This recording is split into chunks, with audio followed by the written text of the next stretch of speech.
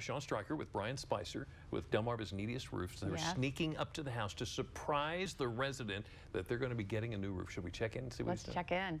I'm so excited. There he is. Oh, you almost there?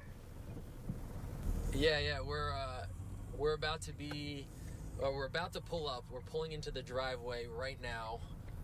Um, we were up the street. We're we were about a quarter mile up the street, and so we are in the car, and there is the house, and they have no idea we're about to surprise them with a brand new roof.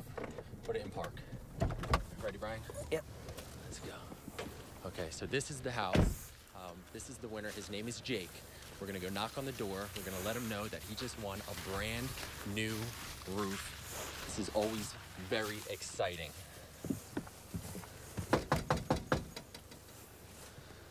And I, I always say I hope they're home because uh, they are. Here we go. Hi, it's Jake here. Yes. Hey, Jake. I, I hear you need. Uh, I hear you could use a new roof. Yeah, yes, sir, definitely. Well, then I am so happy to announce you are the winner of the fifth annual Delmarva's Neediest Roof. I can't even believe that. Um, it's just, it's just a great thing. I want to thank everybody for, for voting.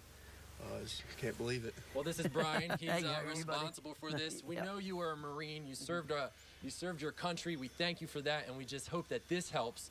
Uh, your mom nominated you. Is she here? No, she's not. She's not here. So, what does this roof mean to you, especially leading up to the holidays? Uh, it means everything. This is the house I grew up in. I lived here my whole life. Um, I got out of the military. I came home, and it was my job to fix this, up, fix this house up and take it over. So And I think that's the cool thing. I think that's part of the story that a lot of people like. Not only are you a veteran, but you lived in this house. This is the only house you ever lived in. You do a lot. You take care of your grandmom, and we hope that this helps. Uh, Brian, what, do you- what do you think? I mean, Yeah, um, the vote, the uh, the we had more votes this year than ever. We had, I mean, what, whatever you did. I mean, the sharing it out, I guess, and the the story was you were saying we you had votes from all all state, all 50 states, Yes. D.C., Yep. even some over in, in Puerto Rico. Puerto Yeah, Rico, we had, some in London. Yeah, we had. Um, so Jake, uh, congratulations, and we hope this helps. And uh, we're gonna hang around and we're Yep. gonna get everything figured out. There you guys have it, Jimmy and Lisa. This is Jake, the winner of the fifth annual Delmarva's Neediest Roof. Thanks so much, Jake.